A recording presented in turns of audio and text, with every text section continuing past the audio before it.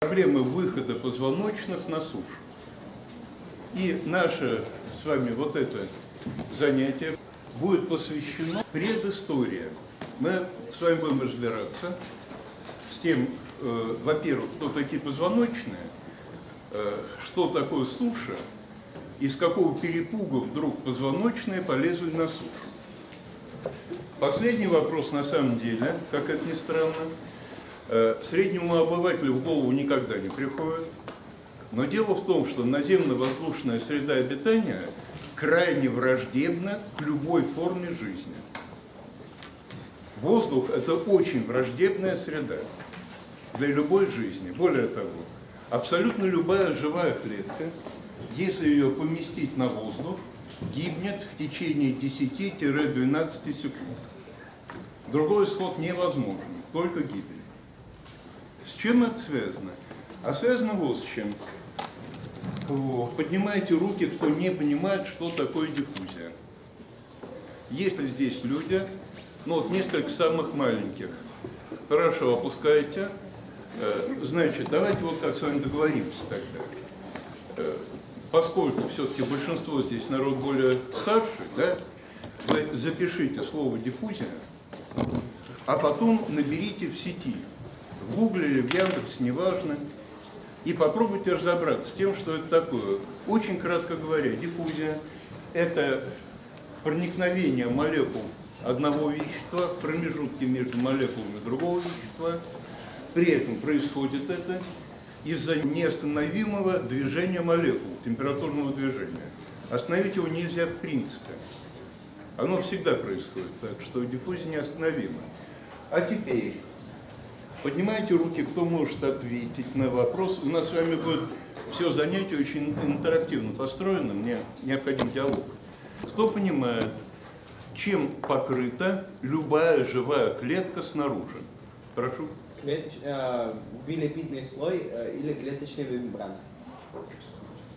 Слушайте, отлично, коллега, очень хорошо. Именно так, именно биомембрана. Классическая школьная ошибка, вот для тех, кто не в теме. Считать, что клетка покрыта снаружи клеточной стеной. Разница принципиальная. Скажите, чем покрыто снаружи тело средневекового рыцаря? Господи, тело средневекового рыцаря покрыто кожей, а доспехи одеты сверху на тело. Доспехи не являются частью тела. Доспехи на тело одеты. Так вот, каждая клетка из себя представляет живую конструкцию, внешняя граница которой называется биомембрана. А на некоторые формы жизни, да, снаружи одеты доспехи, которые не относятся к клетке. Вот эти доспехи называются клеточная стенка. Так? Клеточной стенке никогда и никакие биохимические реакции, свойственные для клетки, не происходят. А это та же самая слизистая оболочка. Нет, упаси Бог. Слизистая оболочка это совсем другое. Хорошо, при этом э, эта стенка, разумеется, дырявенькая. А размер отверстий такой, что в них могут пролезть даже самые крупные молекулы. Движение вещества за счет диффузии из вот этого пространства, от стеночного и внешней среды, вот здесь вполне возможно. Да, это ДНК, то есть свой ДНК может, белки могут. Э, Дело в том, что эти два класса веществ э, часто объединяют под общим названием макромолекулы. Э, Размер для тех, кто не очень об этом задумывался, чтобы порядок катастрофы могли себе представить. Ну вот молекула серной кислоты. На самом деле крупная молекула химии неорганики. Прикиньте, не точно спрашиваю, порядок хотя бы, молекулярной массы серной кислоты, сколько она весит? H2, SO4. Ну, понятно, что до сотни атомных единиц. За сотню не переваривают. Ага. Молекулярная масса тяжелых белков 5-6 миллионов единиц. Потому что там очень... Разница, понимаете? Молекулярная масса ДНК еще больше. Разница многопорядковая. Так что вот эти системы, объединены под названием макромолекула. Очень многие э, вещи, которые в школьной химии, э, химии проходили, с ними просто не то, чтобы не работают, но работают очень своеобразно. Там возникает масса своих дополнительных условий, так, диктующих эту работу. Но в данном случае нас это не очень интересует. Нас интересует вот что.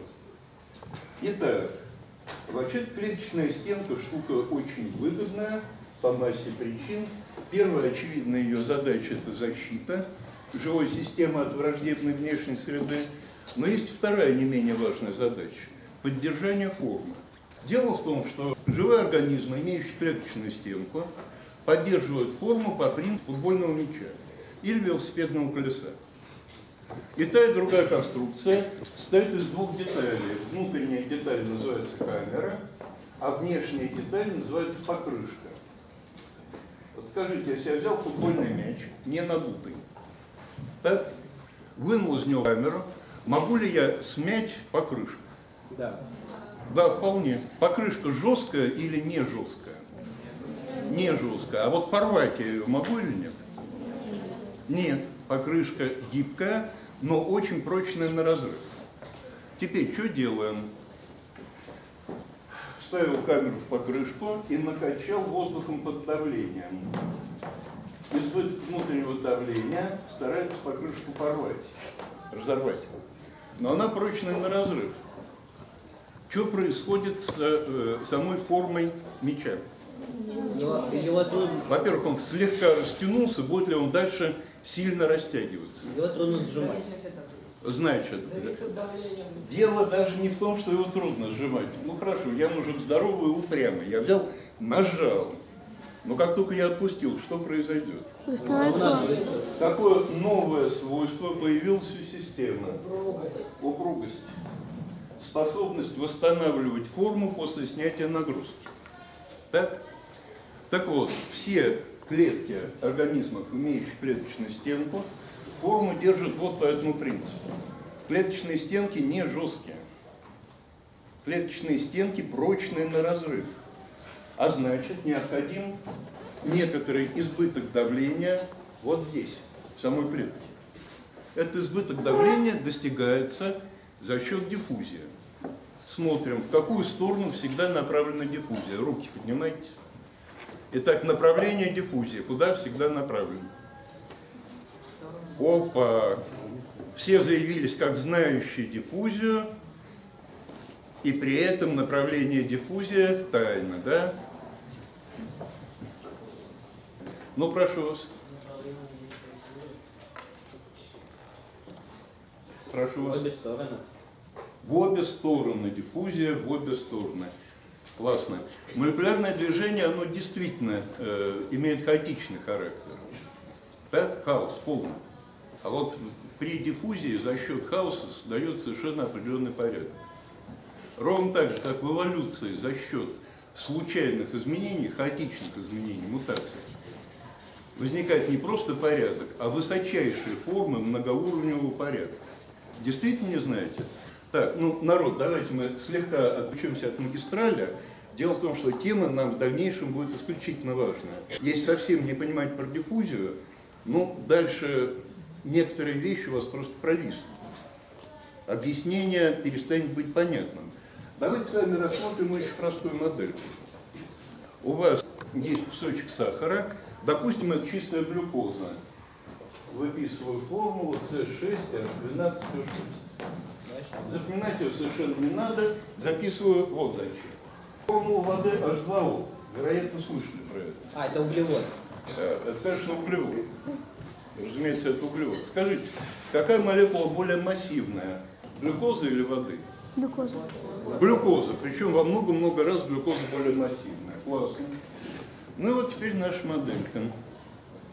Падает стакан сода. Значит, берем стакан с горячей водой. Вот он.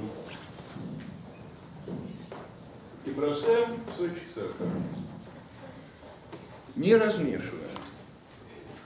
Но несмотря на то, что мы не размешивали, через 2-3 часа сахар будет виден или нет в стакане? А куда он денется? Он разложится. Значит, ребят, наука отличается от бытового языка очень простой вещью. В науке люди говорят не слова, а термины. Чем слово бытового языка отличается от научного термина? Кто понимает? Ребят, в нашем бытовом языке у слов, у любого слова есть синонимы. Всегда можно как-то боковым путем объяснить его значение. Не бывает слов с единственным значением. А в науке запрещено приписывать слову несколько значений. У каждого слова только одно единственное значение. Именно поэтому научное утверждение, в отличие от бытового, очень легко проверяемо. Если человек владеет языком науки, если он знает терминологию науки, то очень легко понять, что говорит коллега. А вот на бытовом языке это почти невозможно сделать. Потому что в каждую фразу любой человек вкладывает свой смысл. Идея понятна? Так что в дальнейшем просьба стараться все-таки придерживаться терминологии. Разложения, конечно, никакого не происходит с сахаром в горячей воде. А какой процесс пойдет? Да знаете вы, не бойтесь. Ну, громче. Ну, растворение, конечно. Итак, при растворении что оказалось? Молекулы воды отодрали друг от друга молекулу сахара. Дело в том, что они к ним притягиваются и суммарно тащат в разные стороны. И у нас что оказалось? Вот эти молекулы, их отодрали друг от друга, но они с самого начала равномерно распространились по всему объему или нет? Да нет, они в основном вот здесь, вот, в том районе, где находился кусок сахара, там молекулы в основном сконцентрированы. Классно. А теперь, а весь этот объем молекулами воды заполнен? Заполнен. А теперь температурное движение молекул неостановимо. Молекулы постоянно двигаются, сталкиваются, отскакивают друг от друга. Температуры Классно. А теперь смотрим, вот у вас выделяют. Вот эта молекула сахара. Ее случайно бросило вниз. Об кого она ударится? А нижняя? А в другую молекулу сахара. У них масса примерно одинаковая? Да, одинаковая. Что произойдет? Взяли два одинаково массивных тела, ударились. Ну, разлетятся на разные стороны. Отлетят, причем с одинаковой силой или с разной? Одинаково. С одинаковой, классно. То есть она вернулась и ударилась теперь об эту молекулу. Ясно, что в другую сторону И бросить? все друг от друга. Да, и вот так вот они здесь мечутся. За исключением молекул внешнего слоя. Вот молекула внешнего слоя. Если ее вниз бросила, она ударится о сахар. А если ее вверх бросила? А воду? А воду. А теперь, вы в бильярд играли когда-нибудь? У всех бильярдных шаров примерно одинаковая масса. Вот у вас сталкиваются два бильярдных шара и разлетаются. Все классно. А теперь поиграем в бильярд таким образом. У вас есть пушечное ядро и бильярдный шар. Вот пушечное ядро куда-то двигается и натыкается на бильярдный шар. Вопрос. Вот эта парочка с одинаковой силой разлетится в разные Пушечное ядро почти не изменит траекторию. Почему? Да масса во много раз больше. Это понятно? Значит, в результате вернется ли обратно вот эта молекула? Здесь вода. Масса воды во много раз меньше, чем масса молекулы сахара. Так? Молекула сахара ударилась о молекулу воды. Она вернется обратно или нет? Нет, она, конечно, А изменит много немножко свое движение. Да? Допустим, вот так. Но она не получила достаточный импульс, чтобы вернуться обратно. Хорошо, здесь она еще раз ударилась. Она вернется обратно? Да нет. Поехала. Теперь следующая молекула, которая на краешке, если ее бросило вниз, она ударяется о таких же. А если вверх? Уехала. После того, как верхний слой уехал, ясно, что в такой же э, ситуации оказывается второй слой. После того, как вот эти молекулы уехали, вот эти молекулы теперь вот здесь где-то, да? Хорошо. Теперь вот эта молекула, до этого она была закрыта верхним слоем. Теперь он разбежался. Что с ней будет, если ее бросить вверх? Улетит также. Улетит вверх. Это? Да, конечно. Что такое сахар? Еще одна молекула, которая вверху. Стоп! Очень хороший вопрос. Кто может, глядя на эту схемку на доске, прикинуть, в каком направлении движутся молекулы сахара? Снизу вверх. Ага, ну вот вы в рамках вашей привычной координатной сетки. Смотрите, если они поднимаются вверх, тогда что должно произойти? Рано или поздно они все поднялись, и что образовали? Образовали скопление молекулы сахара, только не внизу, а вверху. Они тоже будут... Возможно или невозможно? Нет, Нево- А почему невозможно? потому что они снова будут друг об Они будут отталкиваться друг от друга. Ведь сахар от сахара, отталкиваясь, разлетается. Вопрос, в какую сторону будут двигаться молекулы сахара? Прошу. Еще раз. Ну, во все при температурном движении действительно движение в разные стороны равновероятно. Но в данном случае оказывается, что неравновероятно. Есть направление, в котором с большей вероятностью пойдут все молекулы. Из зоны большей концентрации. Ну, именно так. Как называется э, величина, так, которая используется в химии и физике для оценки количества вещества в заданном объеме газа или жидкости. Моль. Грамм на моль. Концентрация слова слышали? Ага. Итак, при диффузии откуда куда происходит перемещение вещества? Прошу. Из зоны высокой концентрации вещества в зону более низкой концентрации вещества. Универсальное правило. Кстати, как следует понять, что такое жизнь, не понимая этого правила, нельзя совсем. Вот просто совсем невозможно. Дело в том, что процессами, транспортными процессами внутри живой клетки управляют не биополе, ветер. не маленькие зелененькие человечки, не Дух Святой, а управляют диффузионные процессы. Вещь ведь элементарно простая. Вот давайте смотрим, есть у вас вот эта клетка, да? Вот в этом месте происходит биосинтез некоторого вещества, вещества А. Здесь оно синтезируется.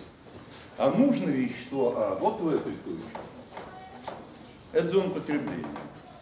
Скажите, пожалуйста, если это зона синтеза, что в этом районе с концентрацией вещества А? Чем дольше идет синтез, тем, тем меньше концентрация, Тем больше. тем больше концентрация. Здесь создаем вещество А. А здесь мы используем вещество А. Мы его либо сжигаем, либо из него что-то строим. Но вопрос, в этой зоне концентрация вещества остается прежней или как-то меняется? В какую сторону? Уменьшается. Ну что начинается? Переход. Здесь концентрация возрастает, здесь концентрация падает. Что начинается? Переход. Начинается переход между... Диффузия.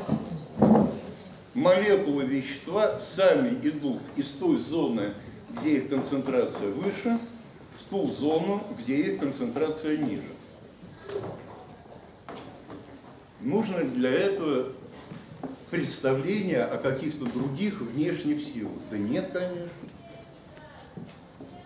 Направление переноса веществ определяется диффузионными градиентами. Причем на дорожку можно сделать вот такой извилистой, там, с какими-то переходами, и все равно вещество пройдет по всем этим извивам. Почему? А потому что здесь его концентрация выше, а здесь ниже. Все точно. Почему это для нас важно? А важно это вот почему. Биомембрана, которая реальная кожа клетки, не замечает воду. Крупные молекулы она не пропустит. Крупные молекулы сквозь ме- биомембрану сами пройти не могут. В биомембрану вмонтированы особые двери, которые клетка умеет открывать, закрывать, контролируя проход крупных молекул. А вот молекулы воды, они маленькие. Поэтому вода совершенно запросто вот так может бегать туда-обратно. Сквозь биомембрану всяких вопросов. Теперь берем клетку, без клеточной стенки для простоты. Можно в клеточной стенке, это ничего не изменит. Но просто сам чертежик будет более понятным. Вот эта биомембрана, клетка в водной среде. В океане, где-нибудь в озере, это совершенно не важно. Так? Значит, молекула воды за счет диффузия может ли случайно выйти из клетки? Да. Может. Направление движения при температурном движении хаотично, случайно. Может ли вернуться? Может. Никаких проблем. Хорошо. А теперь берем эту же клетку и вынули на воздух. Может ли молекула воды сквозь мембрану выйти? Почему? У вас что, свойства мембраны изменились? Может. Мембрана не задерживает воду. Хорошо. Может ли эта молекула потом вернуться? Да. Нет. А нет? А почему? Почему нет? Здесь не в давлении дело. Если вы пролили чайную ложку воды у себя на пол в кухне, лужа будет на всю жизнь. Лужа на всю жизнь будет. Высохнет. Есть такой процесс, называется испарение. Что происходит с жидкостью, если жидкость контактирует с газом? Молекулы жидкости отрываются от массы жидкости и начинают гулять между молекулами газа. На бытовом языке это называется испарение. Классно. Вода диффундировать сквозь мембрану может, она бы и обратно диффундировала, ради бога. Но просто воды не осталось. Почему? Потому что вода испарилась. В результате отдавать воду клетка, причем через всю поверхность мембраны, будет, а обратно она получит хоть что-нибудь? Нет. Да ничего она не получит. От чего погибнут абсолютно все живые клетки на воздухе? От обезвоживания. От высыхания. Причем, э, я говорю, несколько секунд буквально. Вопрос, как же тогда умудряются выжить все наземные живые существа? Не только мы с вами, а растения, грибы, простейшие. Ну, Земля достаточно плохо населена. Да. Да. Абсолютно необходимые условия для всех наземных существ. Необходимо вокруг всех живых клеток защиту от контакта воздухом. Ни одна живая клетка, ни у одного там, ни у одной морковки, которая растет на улице, ни в нашем теле, ни одна живая клетка с воздухом не контактирует. Ну, морковку плохо себе представляете, но себя любимников все представляют? Все представляют. Давайте глянем. На поверхности кожи у нас хоть одна живая клетка есть? Нет, ни одной. Чем покрыта вся поверхность кожи? Вот когда говорят, что у человека здоровая кожа, что это значит? Эпидермис – это название ткани, живые А. клетки. А вот кожный эпидермис А, кутикула. Кутикула у аскарида, у глиста. У нас с вами все-таки целостной кутикулы нет. Да. А если у нас есть э, ну, ранение находятся клетки крови на коже? Так и что с ними будет? С клетками крови, которых вынесло на поверхность. Предложение есть. Еще раз, что с ними будет в течение ровно тех самых пяти секунд? Они просто погибнут все. Они- Сломать тело можно 105 разными путями. И при этом, да, будет возникать контакт живых клеток с воздухом. И что будет в этом месте со всеми живыми клетками? Они обязательно будут гибнуть. Поверхность кожи у нас как А. Значит,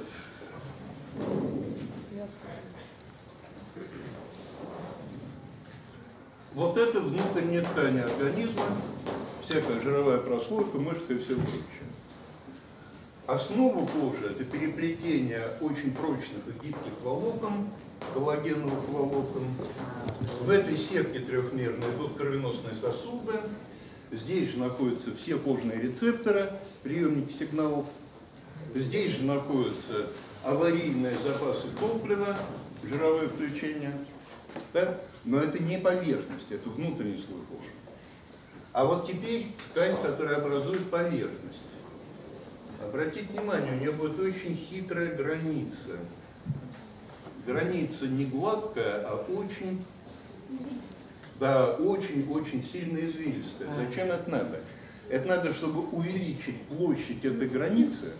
Ну, ясно, что если вы взяли лист и смяли его складками, вы лист большой площади можете разместить на очень маленьком участке. В чем дело? На этой границе клетки очень активно делятся. И молодые клетки выталкиваются вверх. Все молодые клетки, которые здесь произошли, выталкиваются вверх, образуя слой за. Это клетки потенциальные самоубийцы. Таких клеток самоубийц в нашем организме чрезвычайно много. Если вы думаете, что все клетки вашего тела живут всю жизнь, вашу жизнь, Они умирают. это абсолютно не так. Э, Они не умирают даже, не в этом дело.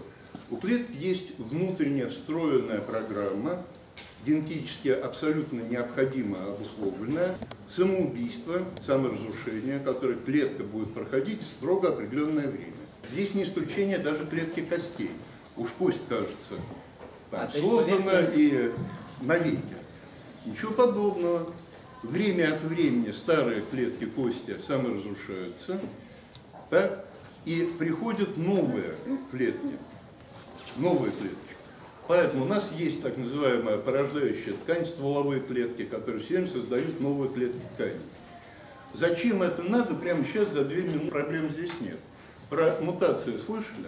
Му- Мутационный процесс, процесс ровно так же неостановимый, как, э, допустим, температурное движение. Остановить его нельзя.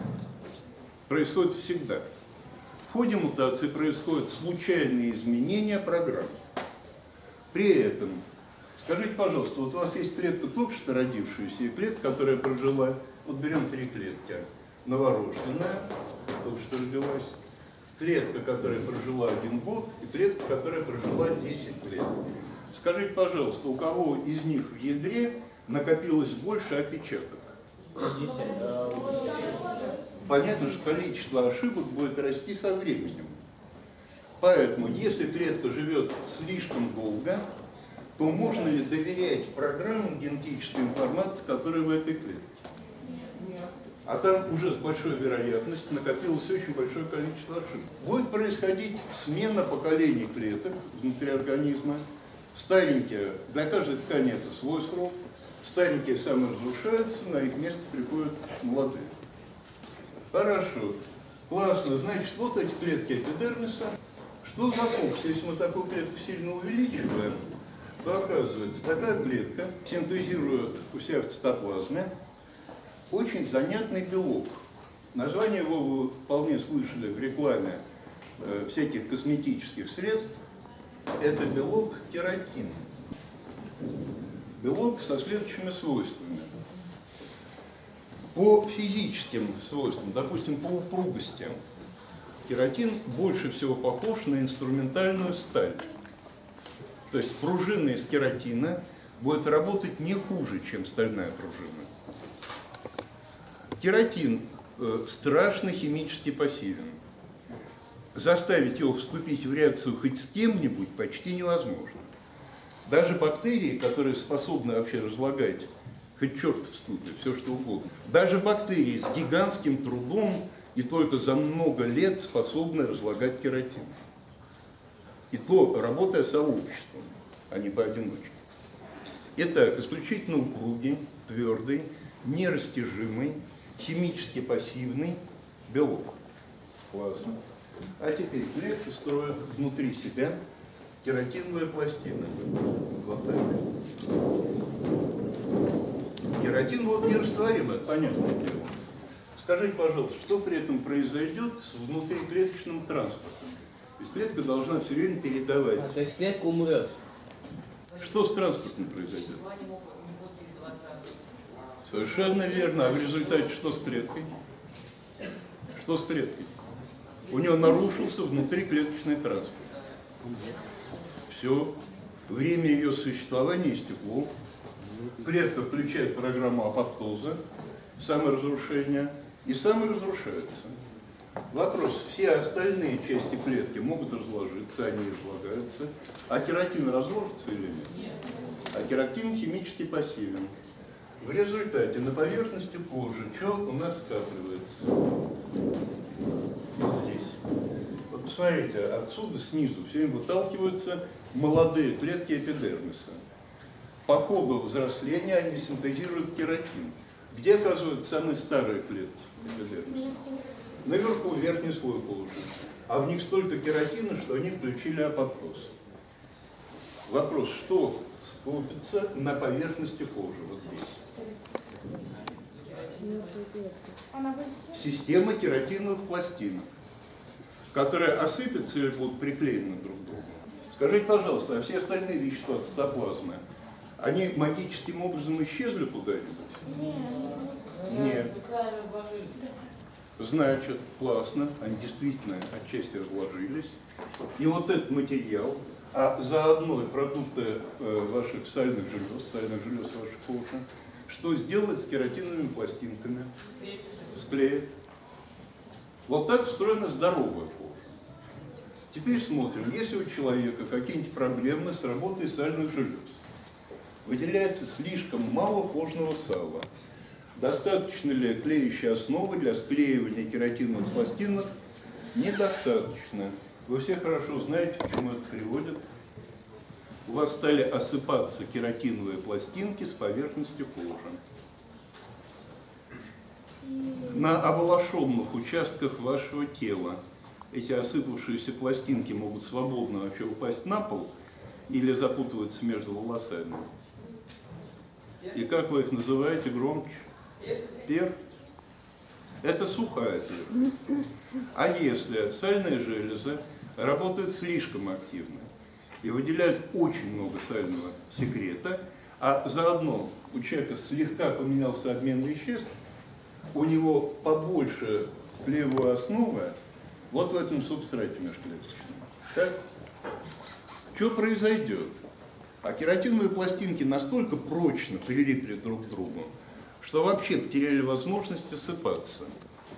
И что у нас начинает происходить? У нас же кератин строится постоянно, а у нас вот такие кератиновые горы начинают возникать. Потому что с нормальной кожи в конечном итоге кератиновые пластиночки осыпаются. Так? Значит, а это что такое? Это одно из заболеваний кожных, которое родственно жирной перхоти, но в данном случае это уже клиническая форма, которая будет называться псориаз. Значит, хорошо, приехали. Э, Кстати, кто понимает, э, что означает слово «пыль»? Прошу. Ага. Вот дело в том, что вы имеете дело с тремя совершенно разными типами пыли. Уличная пыль – это что такое? А это скалы, истертые в пудру. Граниты, базальты, известняки и так далее. Просто измельченное до состояния пудры. Хорошо, книжная пыль, которая в библиотеках накапливается. Это что такое? А это чешуйки целлюлозы, из которой состоит бумага. А квартирная пыль, которая под кроватями, где-нибудь за тумбочкой, а это что такое? На коврах. А это то, что осыпалось с вашего тела. Это кератин. Поэтому, когда говорят, что у человека аллергия на пыль, на самом деле это аллергия на что? На кератин. Да, прошу вас. Прям древесина? Скажите, пожалуйста, а целлюлоза что такое? Тоже древесина. Значит, нет, целлюлоза это химическое вещество, а древесина это часть растения, которое называется дерево. Разницу между веществом и существом неплохо понимать. Так? Бумагу из частичек древесины попробуйте сделать бумагу из досок или из щепок. Я уж не говорю про бревна. Ничего не выйдет. Это не частицы древесины. Это как раз целлюлозная каша, целлюлозная основа для бумаги. Древесины там никакой самой по себе не осталось. Хорошо. Это мы с вами немножечко разобрались с проблемой высыхания. Итак, поверхность кожи у нас от высыхания чем защищена? Защищена кератиновым слоем. Кератин совершенно водонепроницаемый. Более того, он не проницаем вообще почти ни для чего. Скажите, пожалуйста, много ли пор на поверхности кожи у человека? Ни одной. Ни одной поры на поверхности кожи ни у человека, ни у любого другого млекопитающего нет, потому что быть не может. Давайте подумаем, порой в русском языке называется узенькое отверстие. Классно, вот у нас кожа. И мы взяли, натыкали узеньких отверстий, идущих сквозь кожу, вон туда в тело. Скажите, пожалуйста, а вот здесь вот между клетками вашего тела что находится? Воздух. Воздух между клетками тела. А, нет. Ура! Межклеточная жидкость. Ага, межклеточная жидкость. Еще раз. Контакт с любым газом для любой клетки смертелен. Любая клетка только с чем имеет право контактировать? Только с жидкостью. Поэтому внутри нашего тела между клетками, конечно, межклеточная жидкость. Так? А теперь вы взяли во внешнем слое кожи, понатыкали дырочек. И что с вами будет? А, Туда. Да вы просто вытечете на улицу. А поскольку масса вашего тела более чем наполовину состоит из массы воды, то вы превратитесь в мумию, в обезвоженные ткани, да? Почему? Потому что сквозь поры вашей кожи вся вода вытечет. Что люди называют порами. Значит, на самом деле это достаточно хитрая штука к нашей теме выход на сушу. Имеет прямое отношение. Вы же понимаете, мы сейчас с вами разбираем, какие проблемы возникают при попытке выйти из водной среды на сушу. Так? Значит, дело в том, что у млекопитающих возникла здесь в коже вот такая система. Значит, клетки, которые создают кератин, вот в этом слое, да? Теперь представьте, что пришел гаденький мальчишка, который взял и в этом месте очень сильно нажал на поверхность кожи и продавил вот такую яму. Вопрос, где оказались в этой яме клетки зернистого слоя? Те клетки, которые создают кератин. Где они оказались?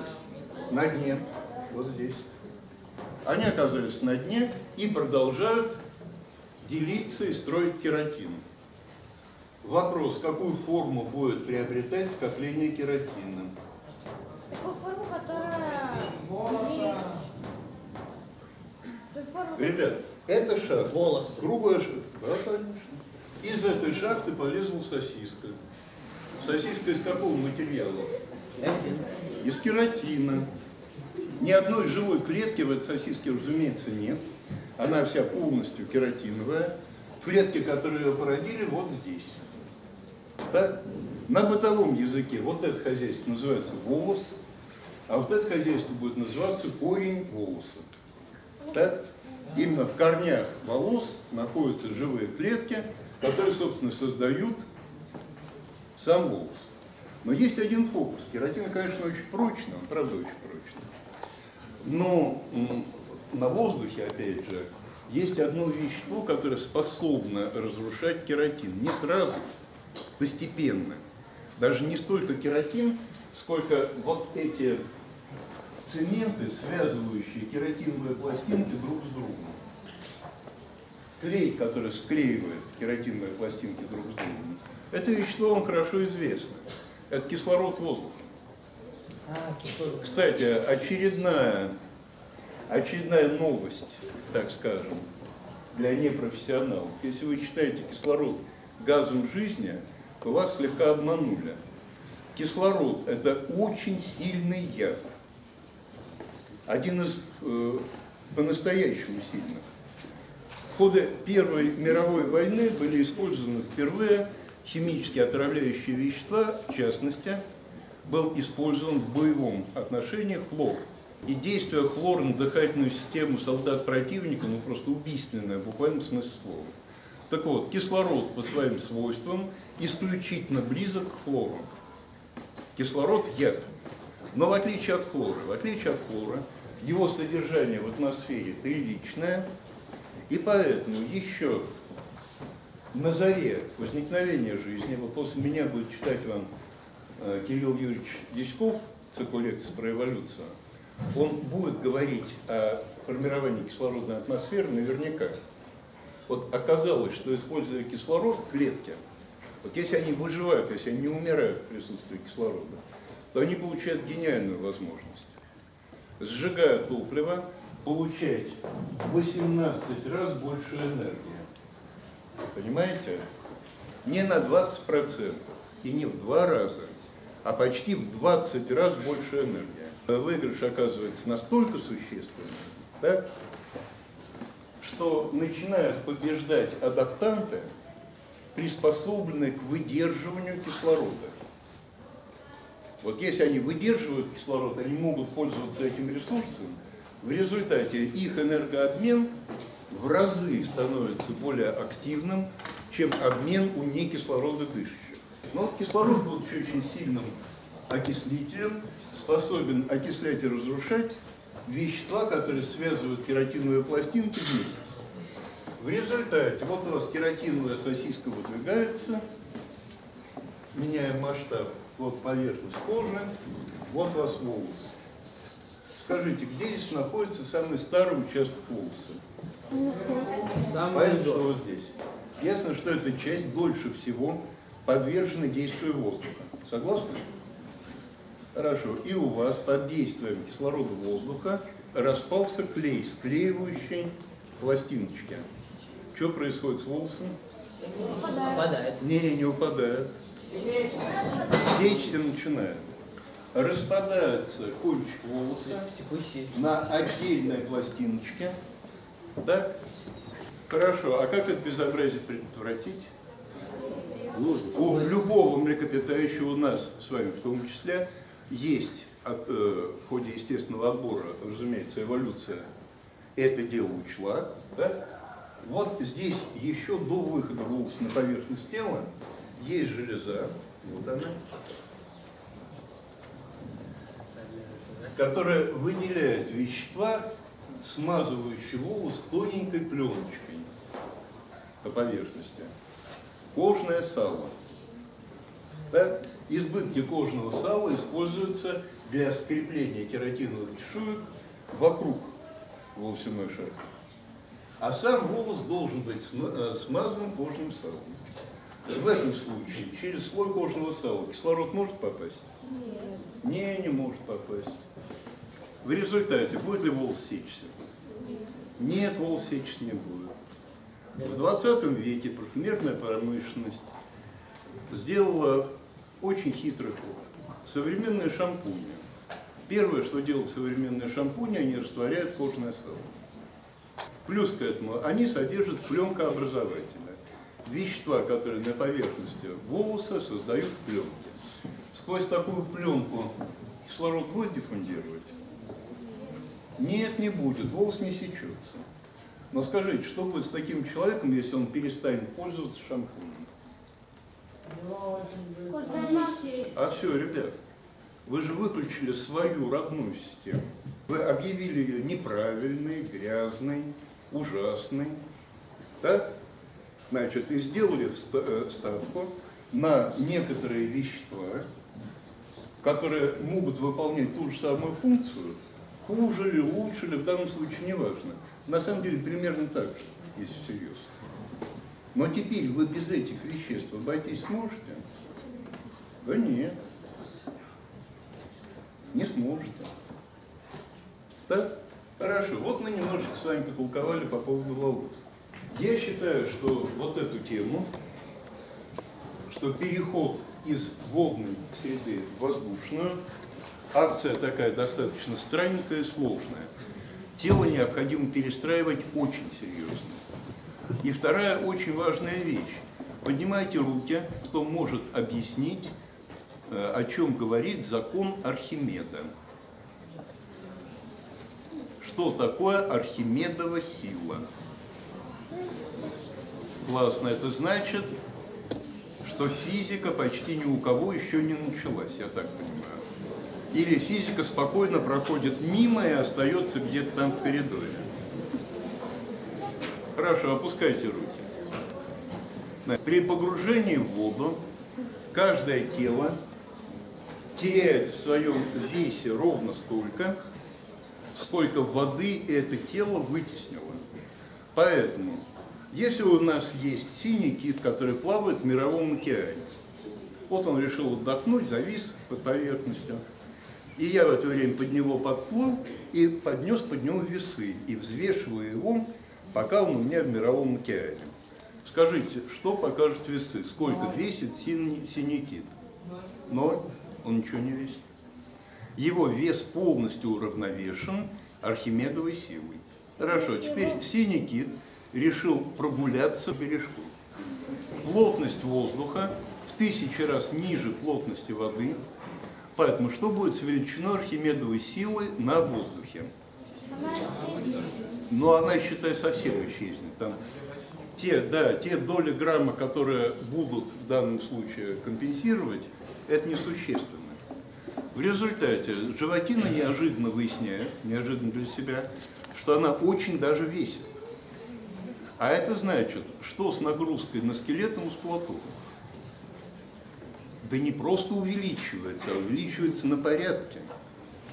Вы из ситуации, где вам не было необходимости отжиматься от земли, где ваше тело было взвешено, переходите в ситуацию, где, чтобы не распластаться, надо как минимум отжаться. Потому что иначе просто двигаться невозможно никак. То есть на самом деле любое передвижение по суше по отношению к передвижению в воде страшное энергозатратное удовольствие. Ну и масса еще всяких других неприятностей, связанных с сушей. И теперь под конец проговорим с вами вот о чем. Да, это на следующем занятии нам окажется совершенно необходимым. Давайте посмотрим, как живет любая живая клетка. Поднимите руку, кто может дать определение процесса дыхания. В биологии какой процесс называется словом дыхание?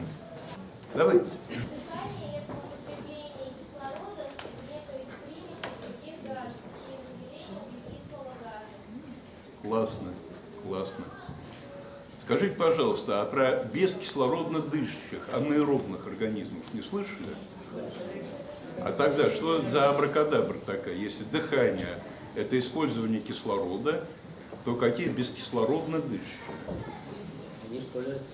Прошу вас. Газообмена. Газообмена просто. Ради прикола, да? Я иду и меняю газы, иду и меняю газы. Вопрос, а зачем это надо? Да. Прошу вас. Именно. Для тех, кто хочет разобраться, запишите. Система процессов. Система процессов,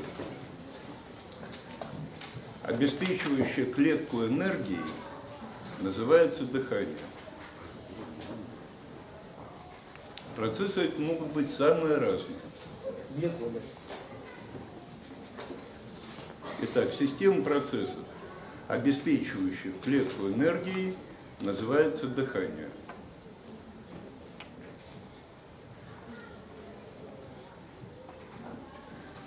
Смотрим, откуда же клетка берет эту энергию и зачем, главное, она ее тратит.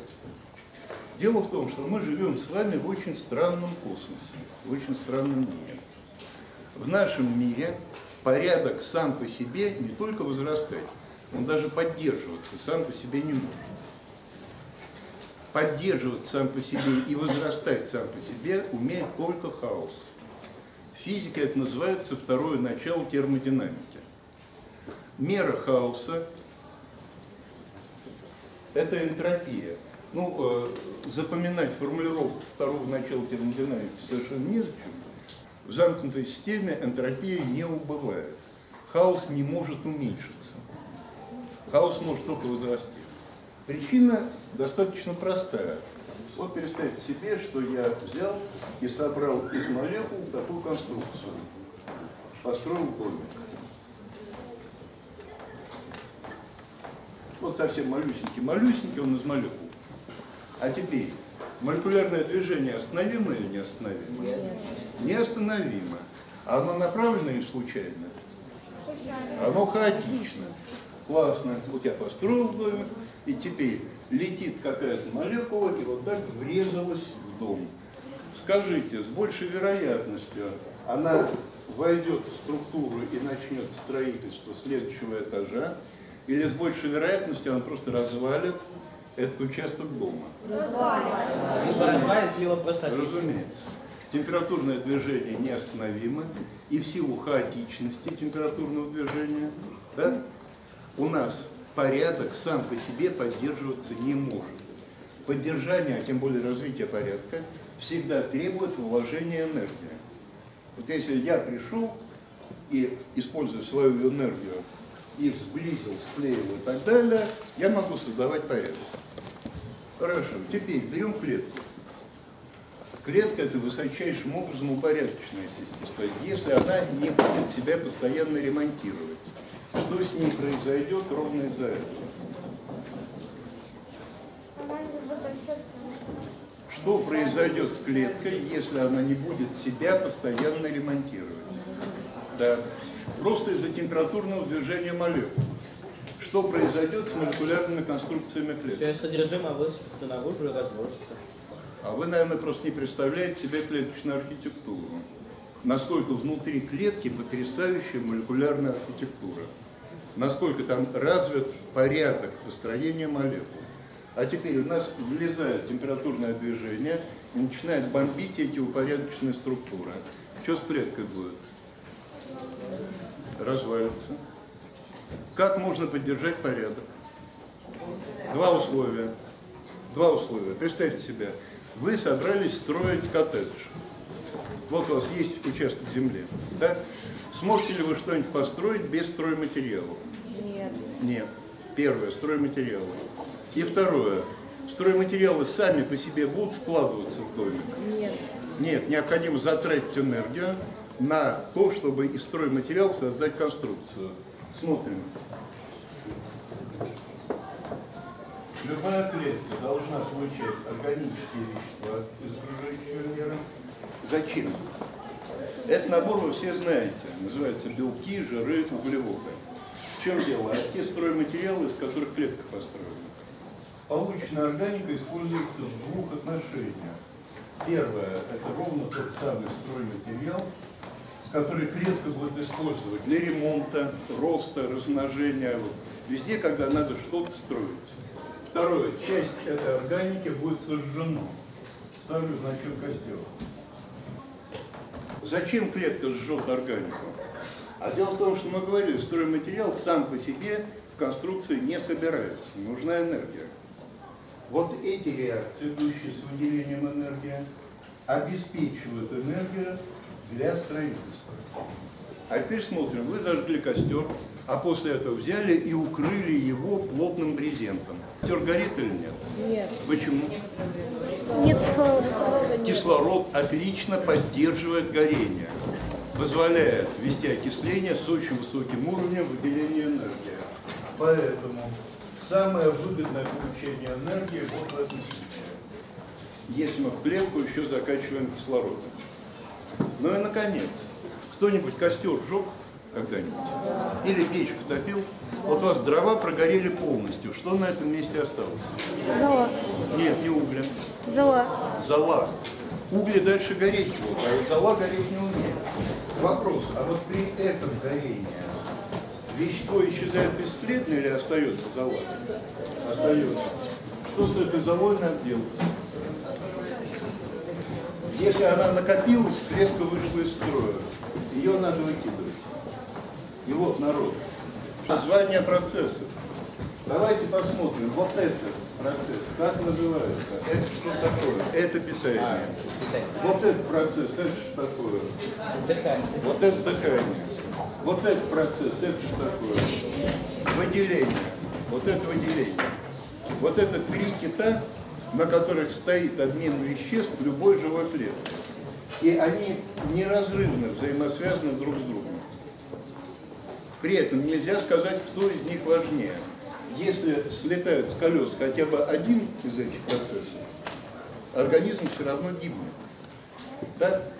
Ну и теперь, вот эта энергия, конечно, не только для биосинтеза используется, а, допустим, без затрат энергии ни одна нервная клетка не произведет нервный импульс. Без затрат энергии ни одно мышечное волокно не сократится и никакого движения не произойдет. Без затрат энергии клетка не способна, помните, я говорил, в мембране есть ворота, которые клетка умеет закрывать и открывать, контролируя проход веществ. Так вот, управление этими воротами тоже идет затратами энергии. Так что энергопотребление у каждой клетки, на самом деле, во-первых, большое, во-вторых, очень разнообразное. А весь источник энергетики, вот он, процесс клеточного дыхания.